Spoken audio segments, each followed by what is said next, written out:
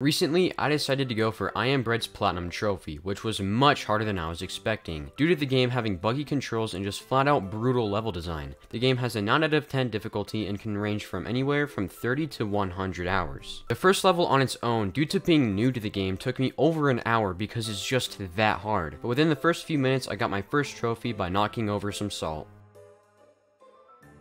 Now I should tell you how this game works. To move around, you use the L1, L2, R1, and R2 buttons. The R buttons control one half of the piece of bread, while the L buttons control the other half. At first, I just couldn't figure out how to control it, but after a while, I did get used to the controls. Now we get to the game design. And that being you have a limited amount of time to grip onto things or you fall, and you need to avoid touching the floor or bugs because that takes away to the edibility meter or you die, so you have to be careful. And speaking of dying, I also got another trophy for dying for the first time. Oh, you die from eating that. And I got a trophy for dying. Cool. Also, at the end of each level, the goal is to toast yourself, which is much easier said than done. Look at this. A toaster, but it can't make toast. Okay, so let's kind of like angle ourselves, okay? Um. Oh! Ooh. Oh, hmm, hmm.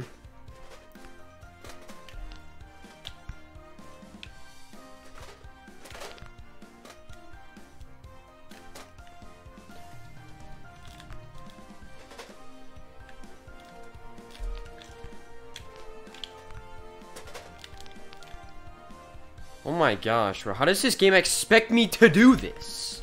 This is literally impossible. Yeah, I wasn't really that good either. I did eventually get inside, but it took so many attempts. But trust me when I say, it gets much harder, as later you don't toast yourself using a toaster. But when I got inside, I got two trophies, one for beating the level with 1% edibility, and one for covering myself with butter before I toasted myself, which you can do at the beginning of the level.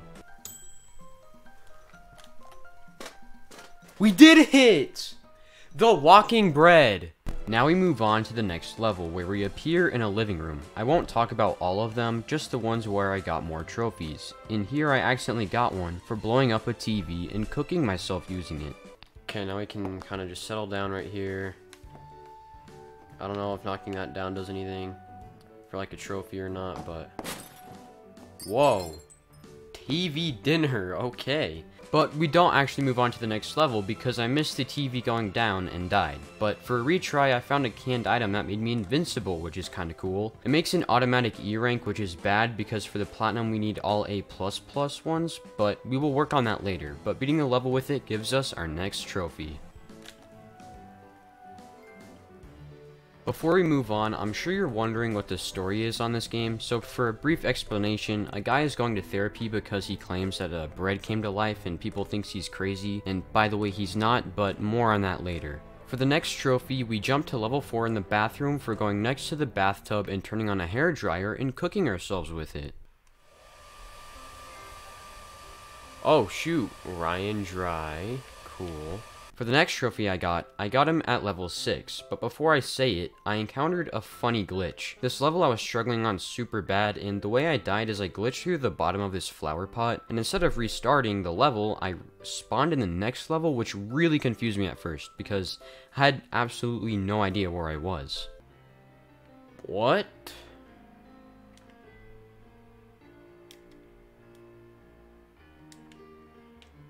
Why am I over here? Yeah, I was super confused. But anyways, at the end of the level, I had to grab a lighter and put it in the grill. At first, I thought that the trophy was for lighting the grill, but it was actually for burning myself with two things in one level. That being the lighter and the grill, thus giving me my next trophy. Let's go!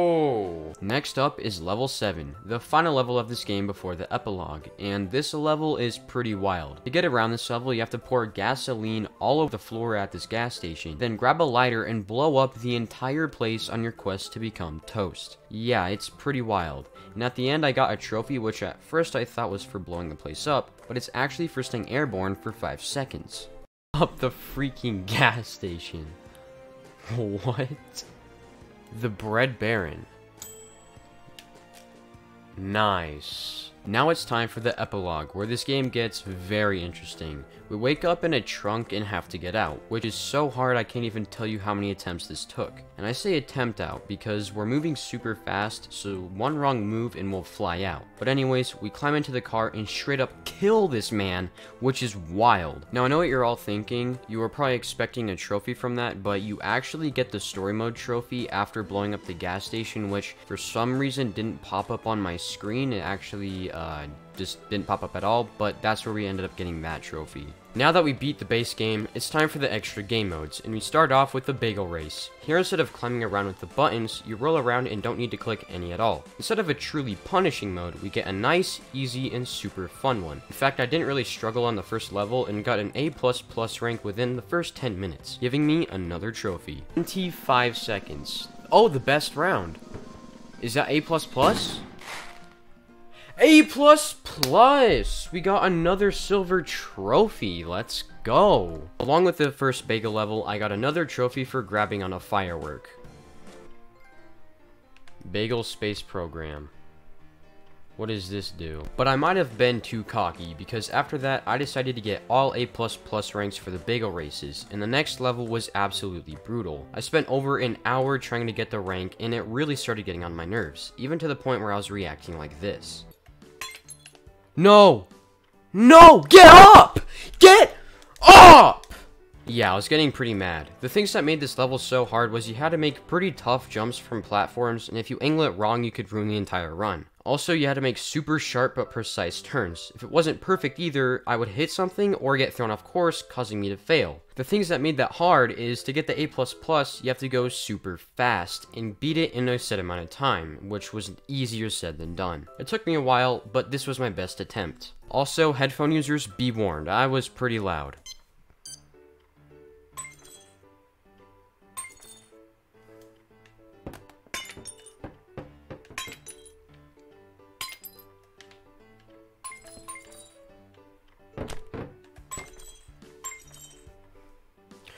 Gosh! Dude, is that it? Oh crap, I just got my controller. Yes! Finally, bro! Holy crap! Yeah, it started getting kinda crazy, but remember when I said you didn't have to climb at all? Well, I lied, because the next level requires climbing. This is in my opinion the hardest level to get an A++ in for the bagel, and it took me about 2 hours. I won't talk more, just look at this absolutely booty balls of a level.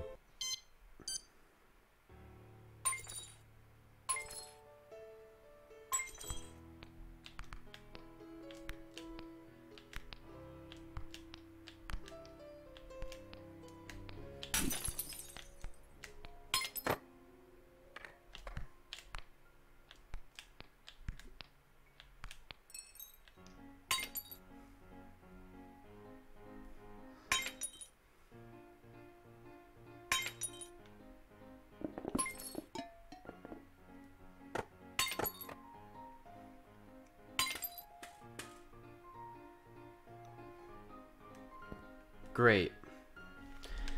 I missed it. That's like a B still. oh my gosh! We did it, bro. My reaction wasn't too crazy because at this point it was like 1 in the morning and I was super tired. The other levels were more intense, but because I got used to the controls, I actually found them to be much easier. I will only show the last level, however, because that's when I got two more trophies.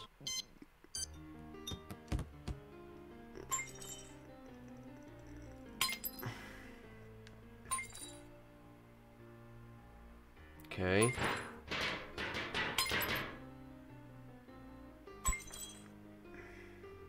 Whoa. Okay, we're fine. We're good.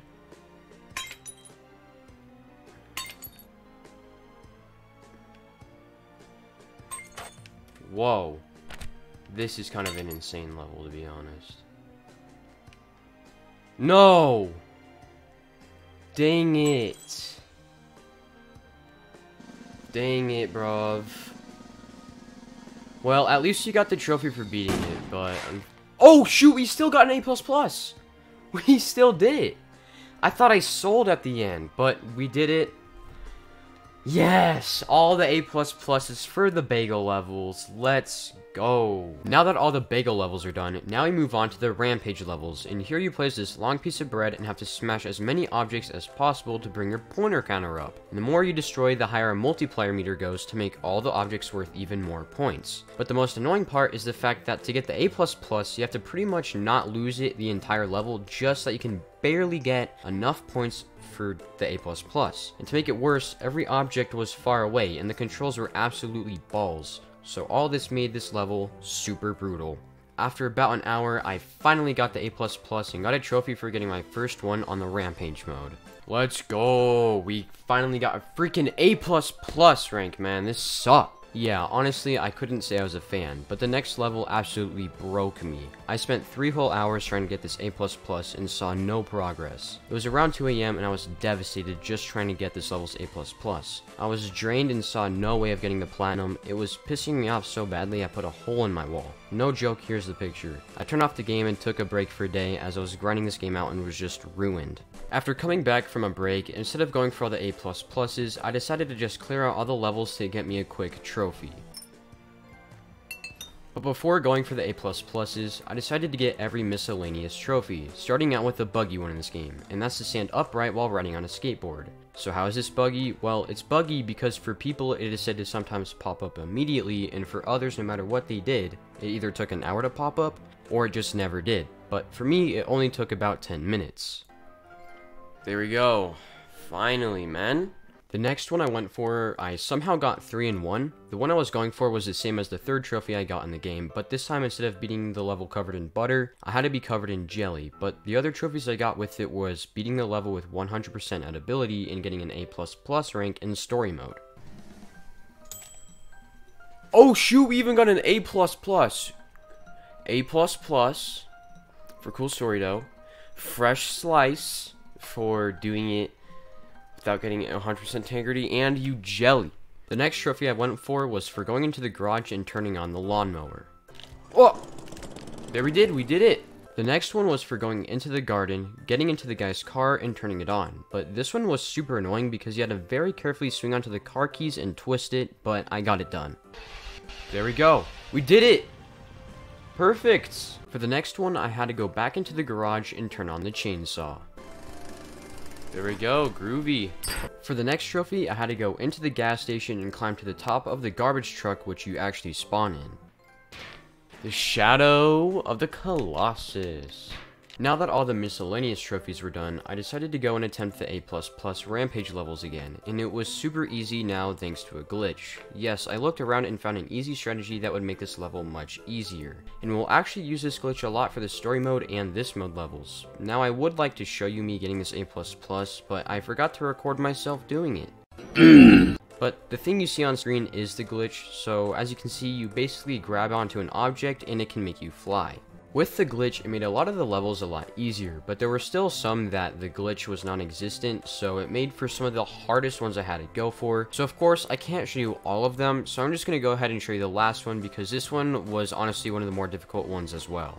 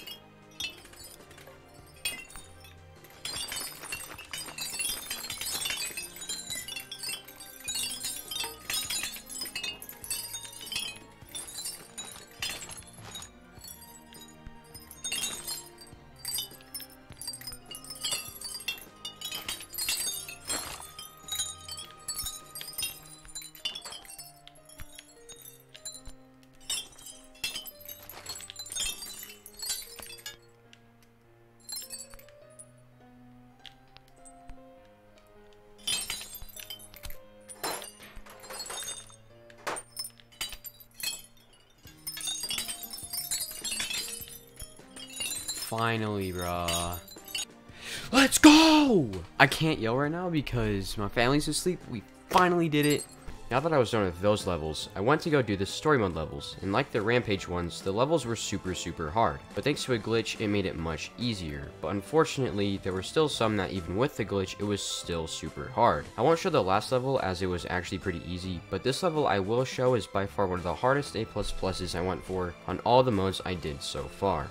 Actually, I also lied to you guys earlier. The whole um, hole in the wall thing actually is from the level I'm about to show you, not the Rampage one. And this is also the one that actually took me three hours. So, uh, I got them mixed up.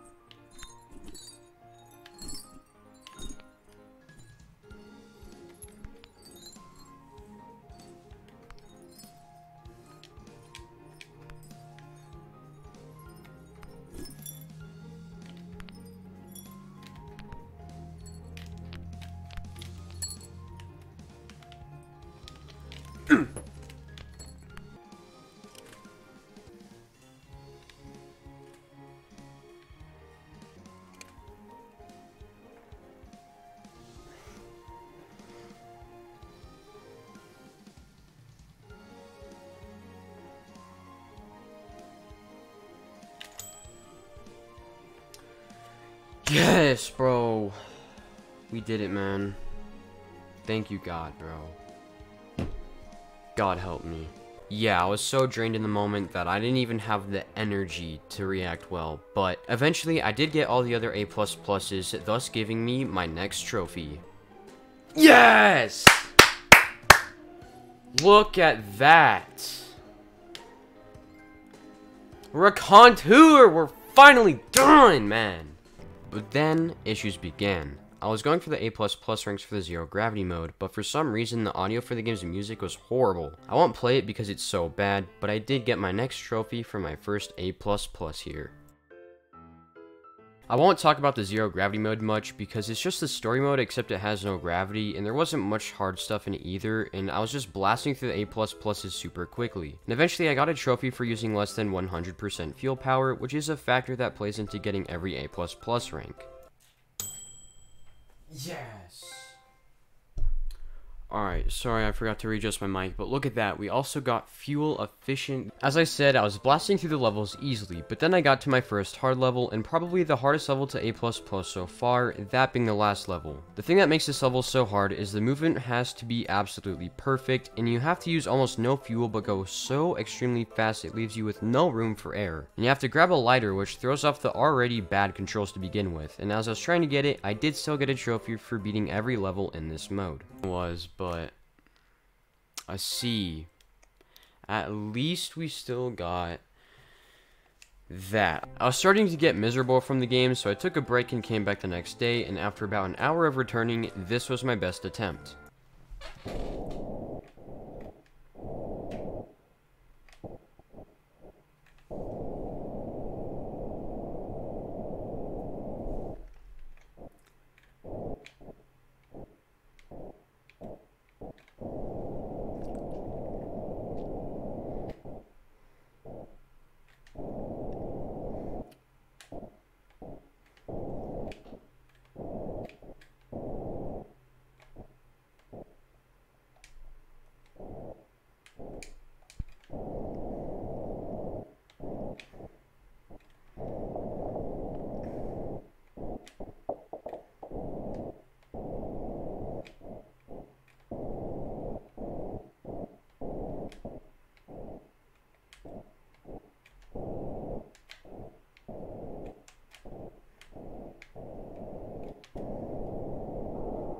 Okay. Oh, dude, this would be good.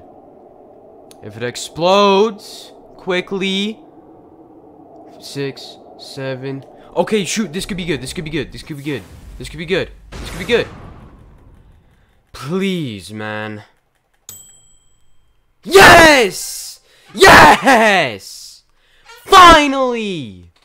Now that everything is done, we get into the hardest part of the entire game.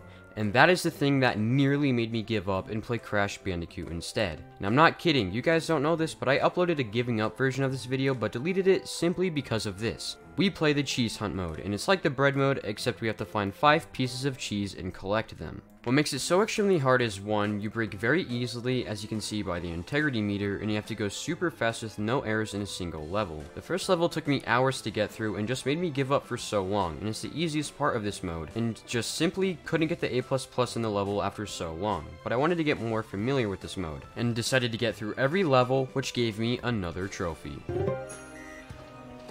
Nearly there. Brilliant. As you can tell from that clip, I sounded pretty dead inside, but after getting through the levels, I found a level that wasn't really too hard, so I decided to attempt its A++ and got it after about 20 minutes. A++! Dude, yes, a wedge between us. I started getting super comfortable with the controls and all, so I attempted the hardest miscellaneous trophy in the game, and that's to beat a level with 100% integrity. And I was shocked to see myself get it in only one hour on the dot, and it honestly wasn't that rage-inducing. I just needed to be slow and steady. Yes!